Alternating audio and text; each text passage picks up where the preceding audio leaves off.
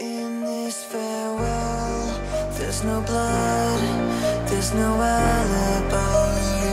Cause I've drawn regret